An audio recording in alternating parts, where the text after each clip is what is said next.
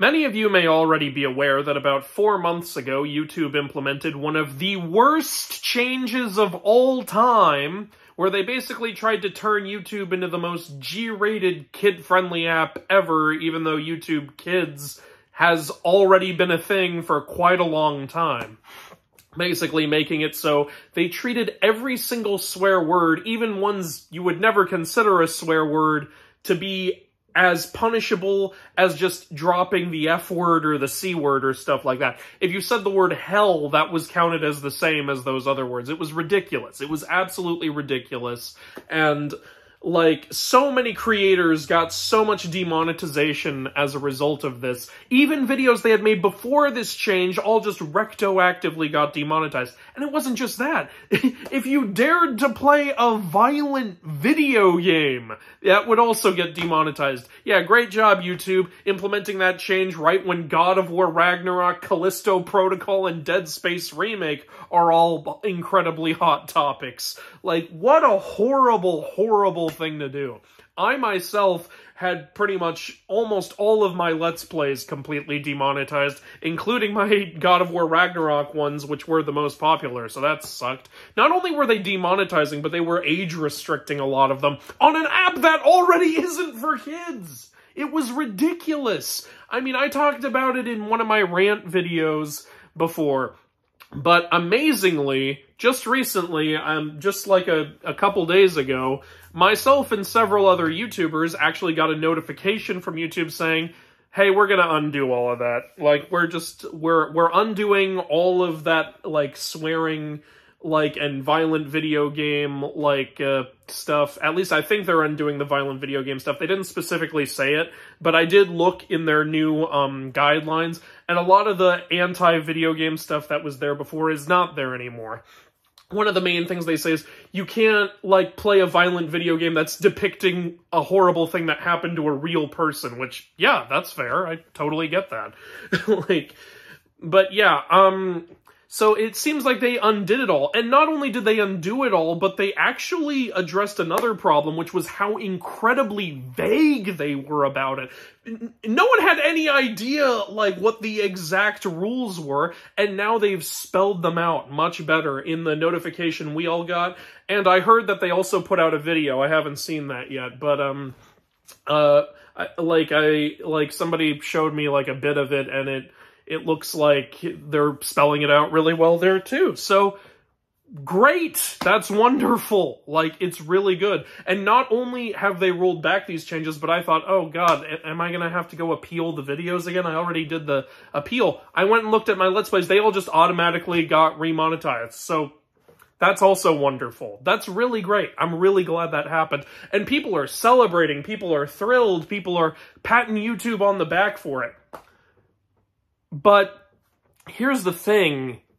Guys, let's not forget, this never should have happened in the first place. This was never okay. Like, it's, it's, like, forgive me if I'm not patting YouTube on the back for rolling back what was a horrible anti-creator, anti-consumer change in the first place that literally no one asked for. And we all had to yell at them and tell them this is stupid for four months before they changed it back. I don't know if this is a result of the new CEO. If so, good for him.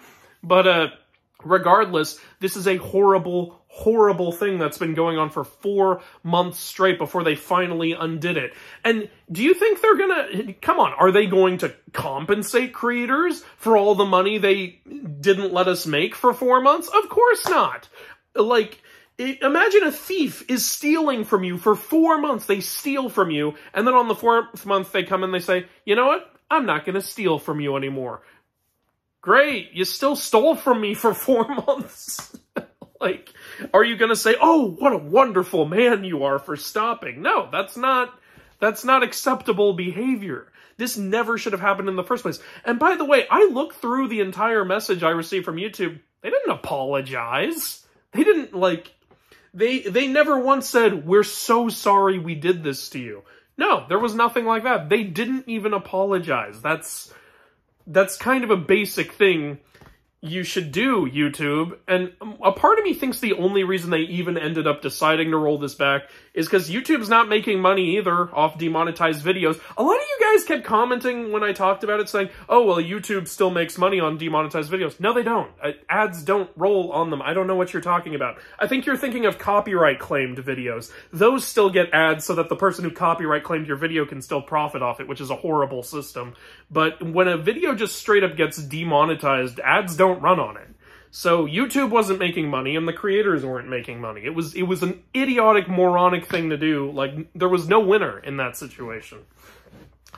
but yeah, like this is a step forward, which is great. But after so many steps in the wrong direction, I mean, do you remember like a few, oh, uh, like a while ago, sorry, I can't talk, when uh, YouTube implemented that change where anyone who shows the opening scene to God of War 1 will get their video completely demonetized and age restricted.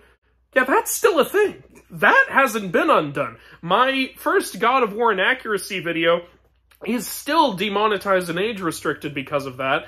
And my re-upload is up. Like some of you like have commented on the re-upload. Oh, did you get it back up? No, that's a re-upload.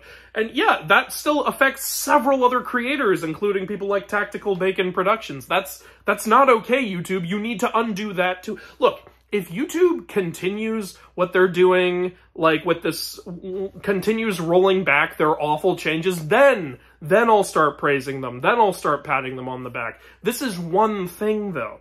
They need to roll back that stupid God of War decision. And even more importantly than that, they need to bring back dislikes, because that was one of the dumbest decisions any social media company has ever made. Literally everyone on the planet Earth and their grandma has been screaming at them to bring back the dislikes, and they still haven't.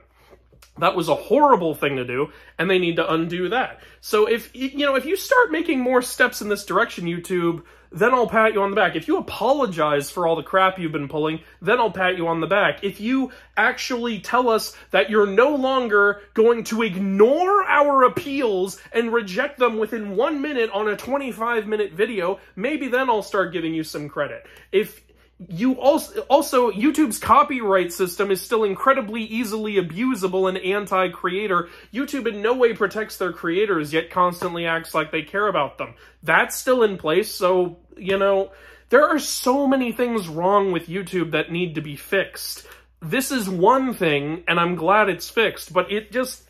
I find it a little weird to see so many people, like, praising YouTube for this. I mean, I guess it is good to give positive reinforcement when they do a positive thing, but guys, it's one thing, and YouTube has a lot of problems, several of which were implemented not that long ago, that they need to fix. Like, so yeah, that's that's just my view on the whole thing. I am glad YouTube made this change. You know, I am glad that we're not trying to be just like Nick Jr. anymore, but there are a lot of other problems with YouTube, and if they don't start rolling back more things, or at least giving a confession of wrongdoing and an apology to their creators, I don't see a reason to have faith that YouTube's going to be better from now on. Like they've done, they've burned so many bridges with creators, and it's going to take a lot of work to rebuild any of that. So it's it just it's rough because I really love being a YouTuber, but I'm I'm I also have to live in this constant anxiety of what kind of horrible change YouTube is going to do next. So that's something that makes it really hard to be a YouTuber, and I think that's something YouTube really needs to fix. But yeah, I think that's really all I have to say about that. I don't know how to end videos.